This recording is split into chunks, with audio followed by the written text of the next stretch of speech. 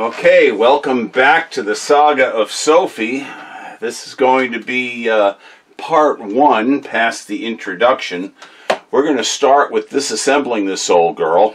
Um, we're going to start by taking off her needle and discarding that. Um, old needles don't get any better in storage. And uh, we're just going to start taking her apart. We'll get the shiny bits off of her. And everything is just going to go in this tray over here that I got a piece of paper towel in. And uh, we'll get through this.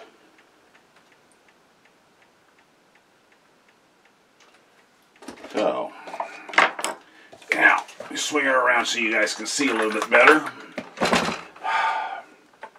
Oh boy. Yeah, there's a lot of stuff that's pretty gopped up here. I'm going to start by dis disassembling the needle bar box area because uh, a lot of the crap that's in here is going to have to be out of the way in order to get the stuff out of the bottom. This uh, pressure bar adjuster is really gopped on there tight. Now, I bought regular Kroil in addition to the uh, other Kroil that I, that I have the aerosol stuff, and I put it in a little one ounce jar. I'm just going to put a little bit here on the threads, let that creep in a little bit. Actually, I'm going to put some Kroil on a lot of parts here, just because I don't really feel like struggling later. Let Kroil just soak in on a bunch of things. So, um, yeah, we're going to need to remove, ooh, yeah, that doesn't want to come off either. All right, well, while we're at it, this has got a back clamper. What do you guys think? Do we leave her as a back clamper or do I convert it to a side clamper? I uh, do have the parts to do the conversion. Um, I mean, getting back clamping accessories isn't exactly the easiest thing in the world these days. I know if I was keeping this machine, she would definitely get a side clamp conversion. But I want to know what you guys think. So, put it down in the comments. I want to know. I do value you guys' opinion, by the way, just in case you weren't aware of that. But I figure by now you might realize that I do. I'm just going to crack that loose. Oh, that's moving the entire thing. It's not loosening that at all. Oh, she wants to be a pain. Actually, even this god-awful thread cutter is jammed on there real good. Alright. Alright, that's starting to loosen a little bit now. There we go. Oh, this is why we love Kroil. Cuts through the crud. There we go.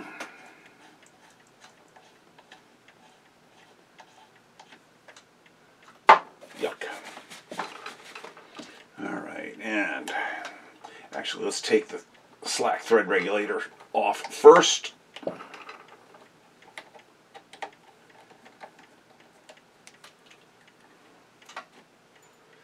And then we'll cut loose the, I'm actually going to take the whole set screw out. And slide up, oh, we got the washer. And we'll get the spring. Now, the problem child here, that's starting to loosen up, that's good, is uh, the um, adapter on the bottom of this doesn't want to give it up. So how are we going to get this out? Well, I could put the set screw back in.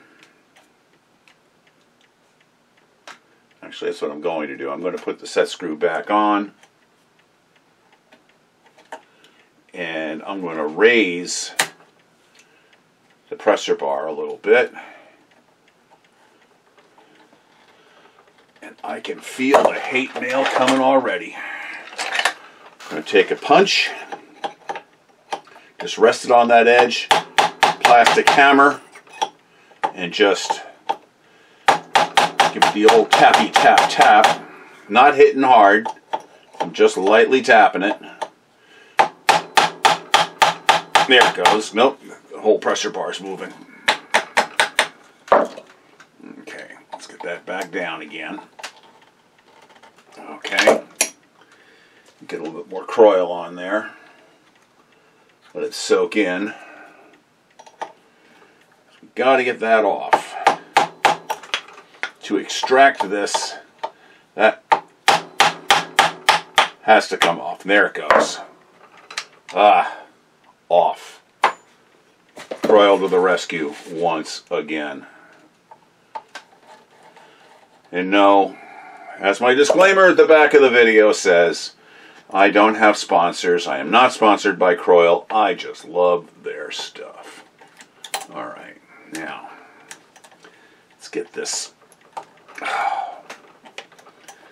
I know I've mentioned it to you guys a million times already, but these thread cutters are the bane of my existence. One thread cutter off into the tray, and now that up. There it goes. Just levering that up a little bit. Tappy tap tap.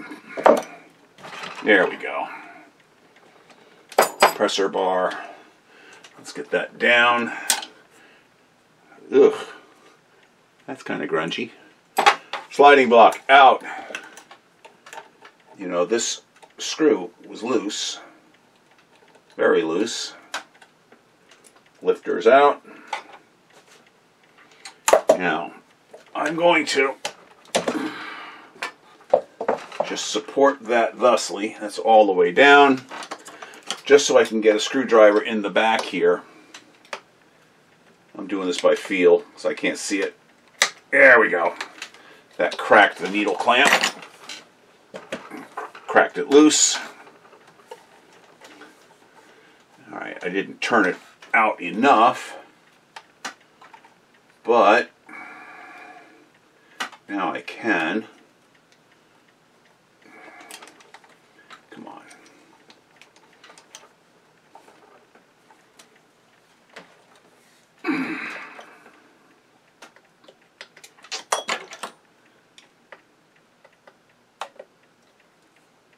And I know there's a lot of people that give me funny looks because sometimes I don't use hollow ground screwdrivers or whatever. This is a case where you can't get that nice Chapman in that hole. It just won't fit. Alright, now that's loose. Let's, there we go. And, ooh, nice grunge on this. Yeah. Nice thing about doing this though with putting penetrating oil on stuff is uh, it does get some of the grime off. Needle bar is out. Now, uh, we are going to take the needle bar uh, guide, uh, the thread guide, uh, thread guide off the bottom of the needle bar bushing.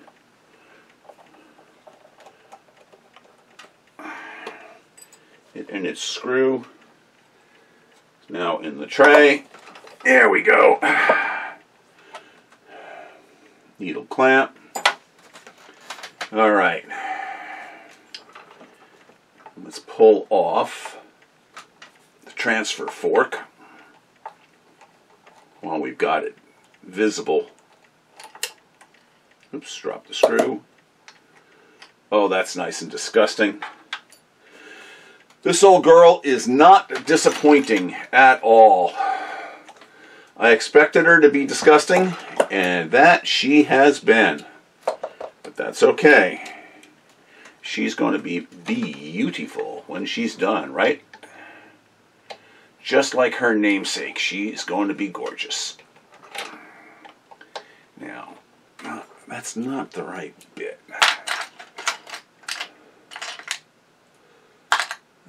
better bit than that for this. It's this one right here. Okay. Get into the slot, and there we go.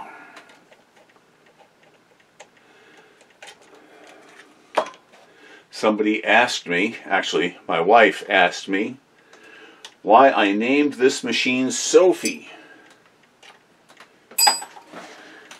And truth be told, she's named after a person, a specific person.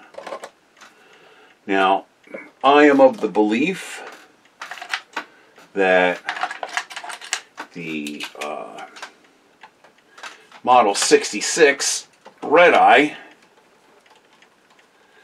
is one of the most beautiful machines that Singer ever produced. So, I have named this machine, this beautiful little 66, or what will be a beautiful 66, after who I think is one of the most beautiful actresses who ever lived, and that being Sophia Loren. Now, I am quite confident that there's not a single person alive who could get away with calling Sophia Loren Sophie. But that doesn't really matter now, does it? Because I doubt if Sophia Loren is ever going to see this video. Alright, get that up and in position. There we go, got the screw now finding that uh, set screw was easier said than done. Did I get it? Did I get it moving? Uh, maybe not.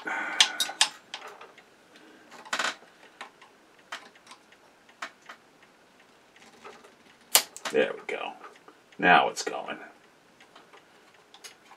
So yeah, this machine is named after one of my favorite actresses.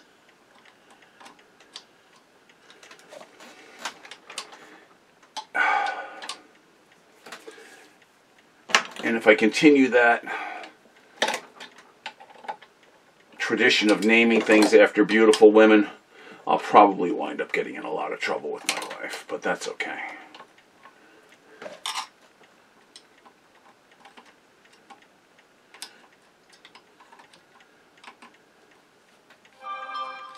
When Liz asked me that, why Sophie, and I told her, she looked at me and she laughed. And her exact words were, I'm sure nobody's ever said that to Sophia Loren and gotten away with it. And I am sure she is right. So, but I'm going to continue to call this machine Sophie. And that was crud welded in place. Oh, yeah the pin doesn't even want to come out. There we go. That's going to take some cleaning. All right. I'm going to probably live to regret this, but, you know, the old expression, God hates a coward.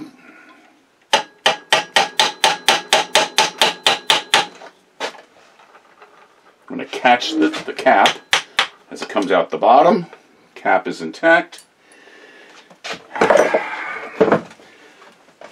I normally don't do this on just a service, but we're going all out on this girl, so I'm going to take out the bushing because I want you to be able to see how you can do this. I've mentioned in the past but I have worked on machines that have had damaged needle bar bushings. Well, this set of punches that I'm using actually is um, this particular punch that I just put in. It's part of a set that I got from Penn State Industries.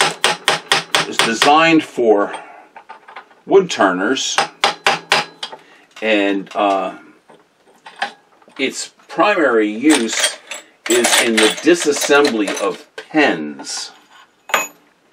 And uh, if you're wondering why pen disassembly, um, if you've ever made a wooden pen or an acrylic pen on the lathe, you know that sometimes after you put the kit together, you got to take it apart for one reason or another.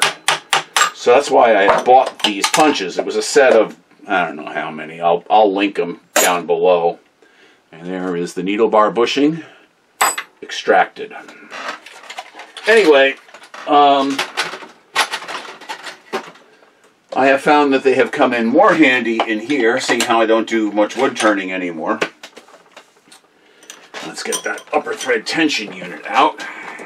You notice I still use a block of 2x3 to keep this up. And I'm going to leave the set screw in the machine and just pull out the whole unit. This unit's probably not even going to get cleaned until we actually go to reassemble the machine. It's just easier.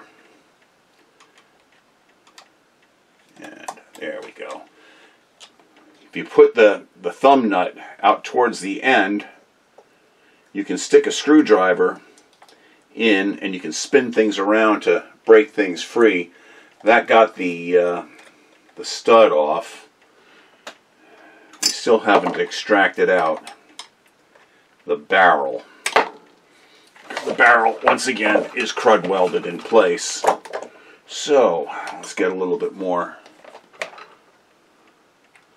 de-crud welding fluid, aka Kroil on there. We'll let that sit for a second. Give it a tappy tap tap, and it pops right out. Loosen the crud. All right, this is the part, honestly, I have been waiting for. You can pull off the slide plate. I want to see what's in here. So, I'm going to take the screws out without removing the, the, the, the needle plate. Then I'm going to zoom the camera in readjust the camera shot, and I'll come back and I'll take this needle plate off. That way we get to see at the same time what is underneath here. I have a feeling it ain't going to be pretty.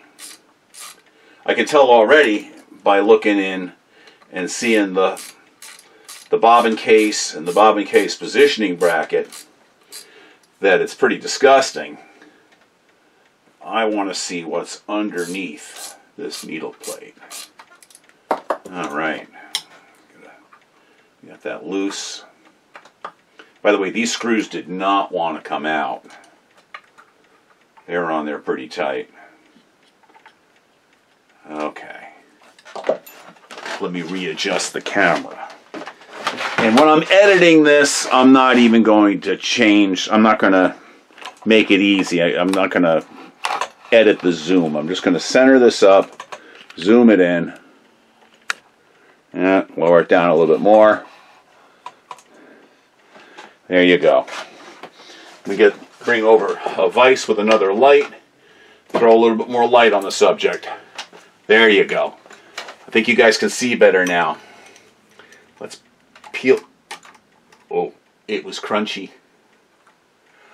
Ooh. All right. Let me tilt this up so you can see a little better. Alright, check this out.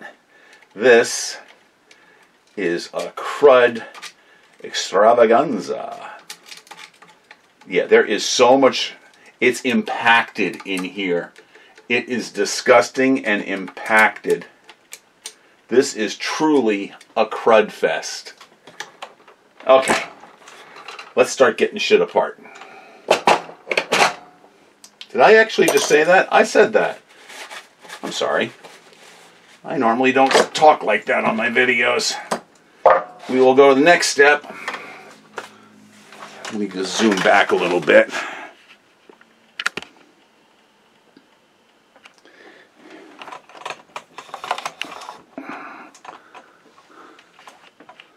Okay.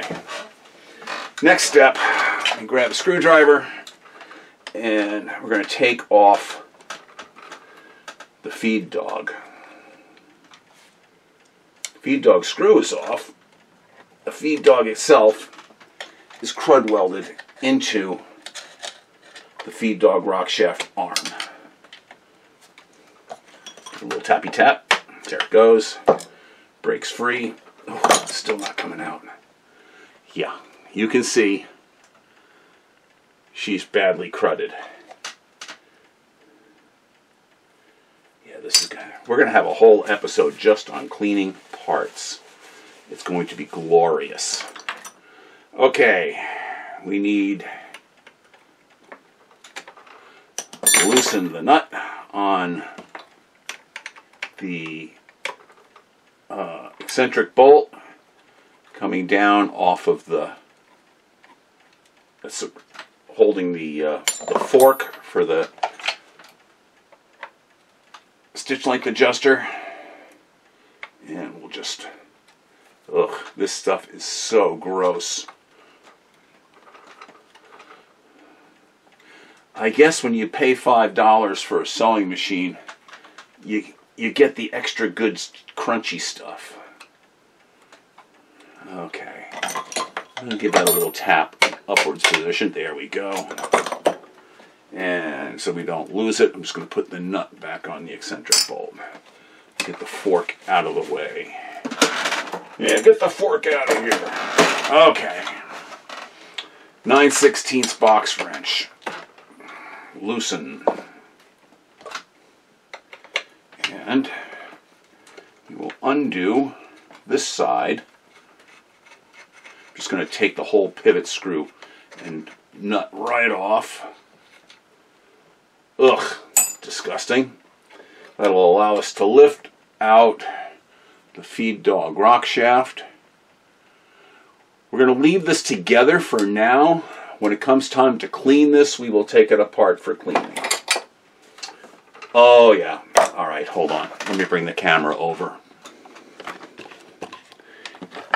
Just in case you thought I was kidding about a crud fest, look at this. This is all just packed in there. Let me get a little bit more light on that. You see that? You see all this crap in here? Ladies and gentlemen, don't let this happen to you. Clean your machines. Alright. Let me reset the camera to a wider shot and we'll finish taking Sophie apart. Alright, let's get this lifting lever off next. Oh, God, that does not want to come off. Wider screwdriver blade.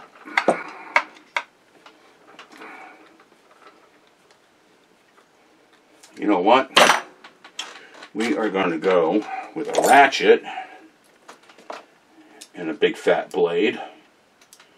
That'll let us get a little bit more angle on the dangle here. Provided that that blade is not too fat. That blade's too fat we go with a not quite as fat blade. Oh, you know what we can use? Uh-huh. Hold one. Hold your horses, kids. Where did I put it?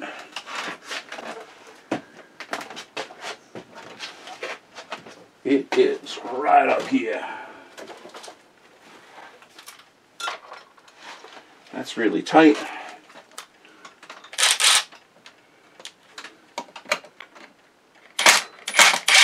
There we go. That broke that free. Oh, this doesn't even want to come out. There we go. The amount of crud on this is amazing. Okay. Is this one going to let loose? Nope. So once again, there we go. It's still on tight. in case you haven't noticed, yeah, you can get away with using your cordless impact tool. And it's actually, you have less of a chance of damaging a fastener if you use that, provided you're using the right size bit. Um, literally because of the speed Here's a case where speed is your friend. Plus the impacting mechanism, of course. There we go. That was just enough to break it free.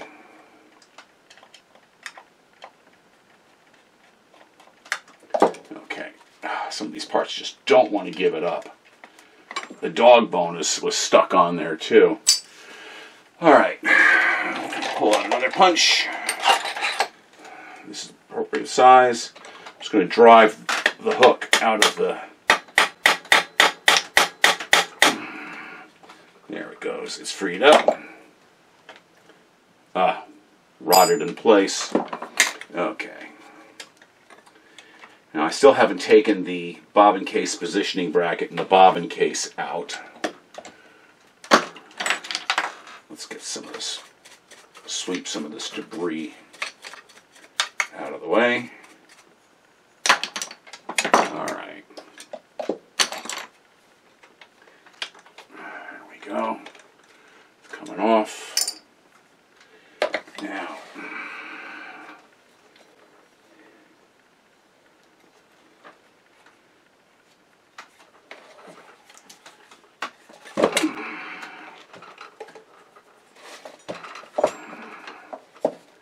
and there's our screw right here. Yeah, she doesn't want to give that up either.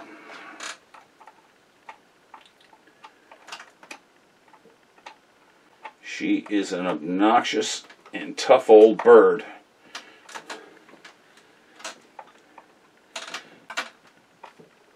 Here she comes. Okay, that's out far enough. And we'll grab that with a pair of pliers lightly. There she goes. She's unscrewing now.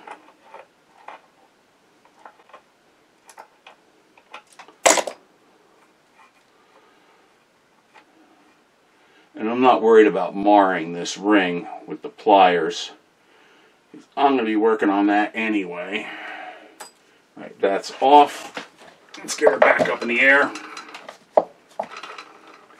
Let's see if we can get this to release. All right. Loosen the screw here a little bit. That's off. Come on, baby. Let go.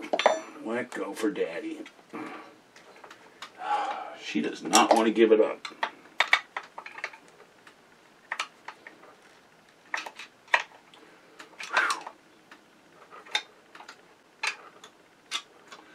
She does not want to give up. All right, what we're going to have to do before we do that then, seeing how she doesn't want to behave, going to have to remove the bobbin case positioning bracket and the bobbin case first. I think this is one where I have to take the bracket out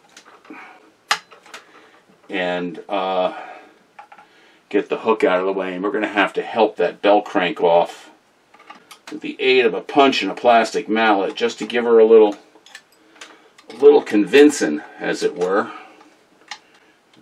she does not really want to stay in this machine. Oh god, that's dis- Oh, look at that. Watch this. See that crap? Oy. Okay. Oh, oh my god. the amount of lint in this machine is horrific. Okay. Her a tappy tap on the hook. Hook still doesn't want to come through. Hook still does not want to come through.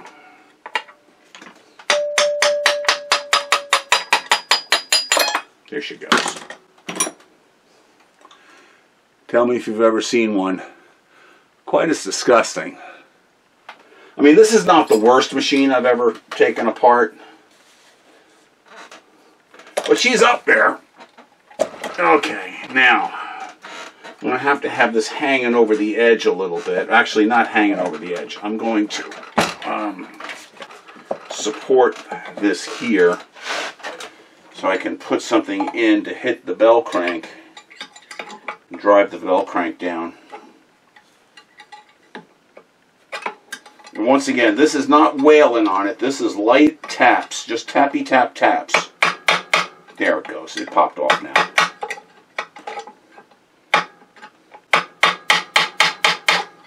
There. Not wailing, just tappy tap taps. Oh, didn't come all the way. You little inflamed hemorrhoidal tissue, you. Get some more oil on her. Oh, God, is she stuck. Oh, man. Okay, we'll give her a little bit more tappy tap tapping.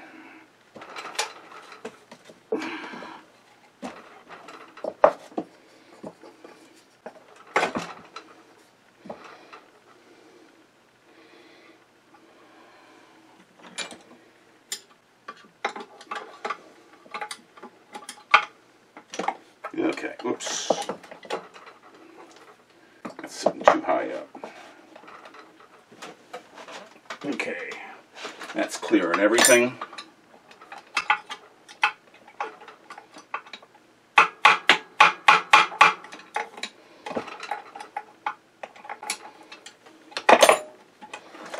I did a machine for uh, customer down in uh, southern New Jersey that was almost as bad as this one. Actually, I shouldn't say southern New Jersey. It's more central New Jersey. He's in Toms River area. area. But his 66 had been sitting in a barn for probably 50 years. and it did not want to come apart. Much like this one doesn't want to come apart.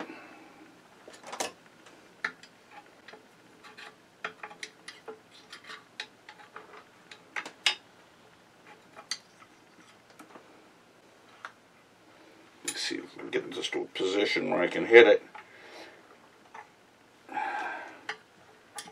Now I can tap it lightly.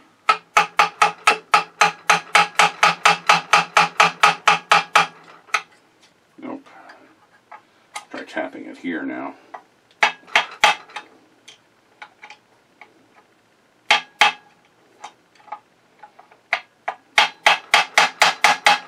Here's where it would be really handy not to be a one-man shop. Or I could have just pulled out my sewing machine fixture and put the machine in the fixture and not be struggling as much with this. But what fun would that be? Okay. See if can get some of that oil to move through there. Actually, you know what we're going to do? We're going to give her a little bit of heat just to move some of the oil around.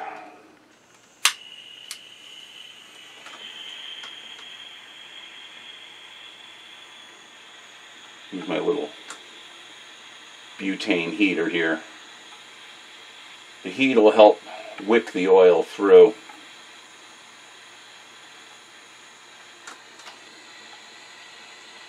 And this is not a direct flame. This is the flame is inside the tip. This is just coming out as hot air. See? No flame.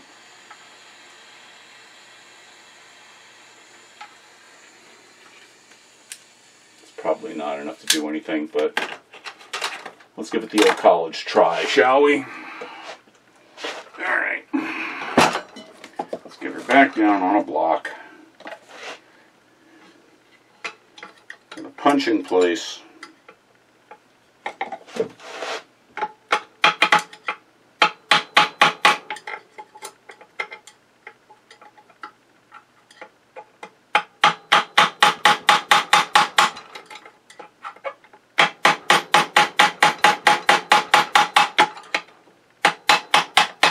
There we go.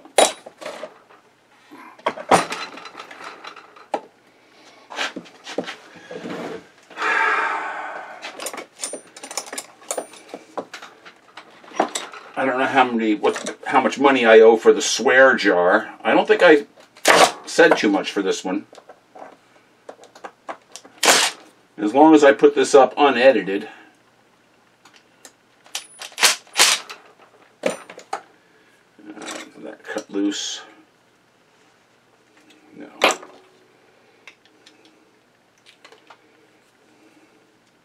Okay, hold on. Get that out of the way. Come on. Just put that into there momentarily, and there we go. That didn't even tighten the jaws. That just let it let it spin nicely in that. And you'll see why. Yeah, crud. Now we're going to get that off. First,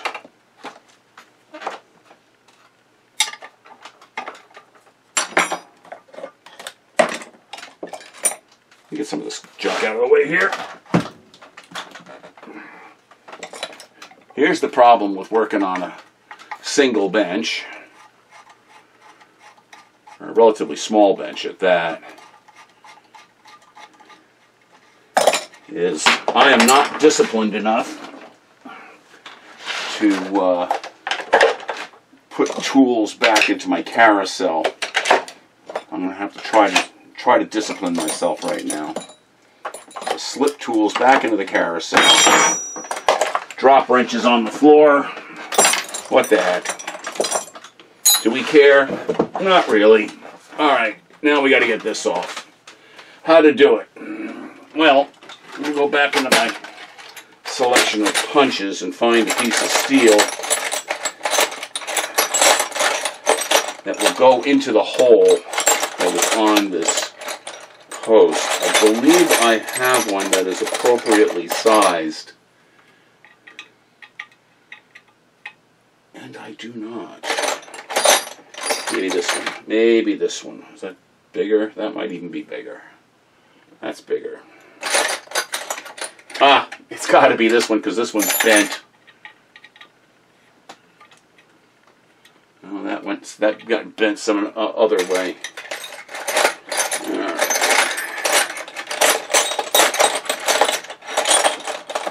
Okay, I do not have an appropriate in there. You know what? This might work.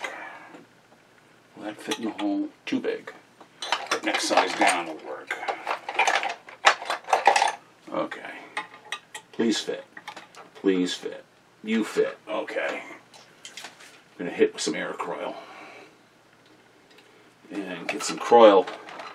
You know what? That doesn't go all the way through. Of course not. Why would it go all the way through and be convenient? Get this out of the way. So let's up and over. Alright, we have a hole here. Let's get that in towards, there it goes. There it went. It just needed a little bit of prying. I ran it all the way in so as not to take too much of a chance of bending it. And oh, is that disgustingly dirty. Yeah, I got my finger. I bit myself. Okay, so while we're in this neighborhood, let's take off the bobbin winder. And we'll leave the bobbin winder intact for now, because that's going to be an episode unto itself. Take off stop motion knob. Well, that came off easier than I anticipated. Washer. Oh. Oh. Really? It could be that much of a pain in the neck. Okay. Be that way.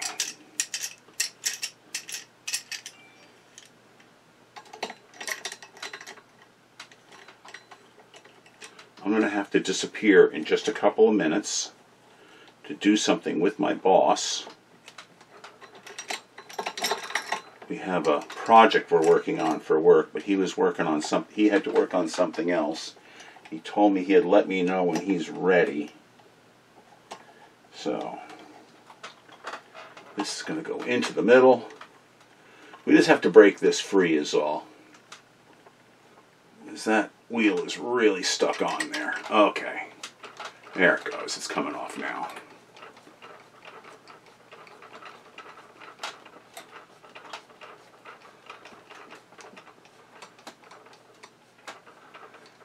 If you're wondering why the lighting seems a little bit better in here, I have another light that I just rigged up just for the occasion. It's actually a, the brand on that? Something I bought at Harbor Freight. It's um, a Braun uh, LED work light, battery out. It's a rechargeable LED work light. And uh, I bought it a few months ago when we were going to be doing some work in my mother's house up in Massachusetts where there's no power. The house has been sitting in basically abandoned condition for a while. The power was shut off. And um, I knew I was going to need some extra lighting in there. I had bought that rechargeable at Harbor Freight, and I absolutely love it. So, people ask me how you get these off without screwing them up. Did not mar it. I'm not going to reuse that because this is going to get threaded eventually, and there will be a uh, threaded, uh, more industrial style going in there. Okay. This um, needs a little squirt of something something to get this to move again, because that is disgusting. Here it goes. I'll give a little squirt on here. Okay, now, once again, I know better than to try to take a screwdriver to that. So, big old thing on there, and up it comes. Why is my phone making noises like that? I think it's it's listening to me. It is. All right. So we'll pull this up and uh, we'll get the Okay, we're free there. Come on, baby. Loosen up. You know, normally this stuff just literally falls out, but this is just so dirty, it's not going to cooperate. We'll get the, the screw type portion out right now. There's the, you can see how rusty and cruddy that is. Pretty gross. That's pretty disgusting last but not least, ugh. Oh yeah, booyah.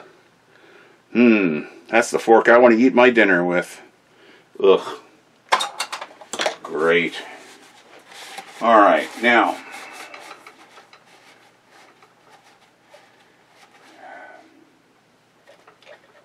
Main shaft. Let's make an let's make an evaluation here.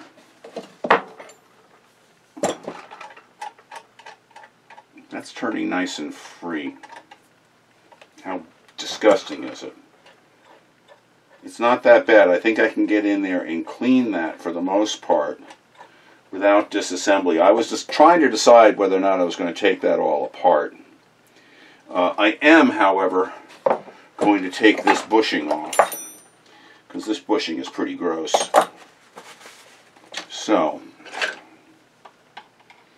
nice thing about this one this one is held on with a screw as opposed to being pinned. So let's get out our puller once again.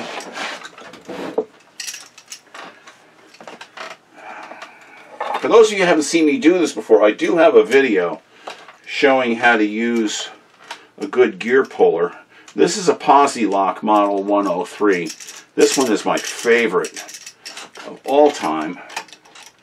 I did not buy this initially for sewing machine work. I was working on motorcycles when I bought this, but it has proven invaluable. And here we go.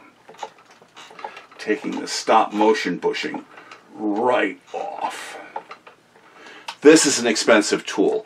This one alone on Amazon I think is now, oh, I think Amazon you can get them for 136. Um, it's rather expensive, uh, but this one is just oh so worth it for doing this kind of work. You saw that I use it to get the balance wheel off this machine. Uh, all too often I see on YouTube people taking mallets and hammers to balance wheels and stuff. I'm like, I see that and I cringe. I'm like, no! Use a puller. And I know they're expensive. And, uh, but yeah, it got everything off no damage. And that's, that's the important part. Um, I've got a friend, a good friend, a very, very good friend, who um, had a um, has a 201 and she was working on. It's a relatively recent acquisition, and some 300 pound gorilla before her. Not saying that she's 300 pounds. She's not. She's she's. I did not mean to imply that. Uh, but anyway, the 300 pound gorilla that had the machine before she had it damaged the uh, the bushing, the balance wheel bushing. And fortuitously, I had one that I could fatten her up with. She lives out in Redmond, Washington. So um, I sent her the bushing and um, puller. Now you can't pull it all the, you can't start pulling on a 201 with one of those. Uh, it's the nature of the way the bushing is designed. But once you get it started, and I told her how she could start to get the old one off, then use the puller and pull it. She wound up taking it off a different route. But anyway, well, there you have it. We have her stripped down. The only component parts that are left inside is the main shaft and the vertical shaft. Um, next, what we're going to do is we're going to clean the parts that we left intact We'll get that bushing clean to get that back on, and we'll clean this area, we'll clean the rest of the machine, and we're going to get this machine to the point where we can polish it. But that's going to be the next episode. Um, I wanted you to see this as, well, we had the intro, and I did a little thing where I fixed a different faceplate, and I, I put a new thread guide on a new on a different faceplate, which is now Sophie's faceplate. Um, Sophie had the same problem. This faceplate's actually nicer. But anyway, that's what we, that's taking her all the. Oh, wait a minute! I didn't take her all the way down. You guys didn't tell me that I missed this.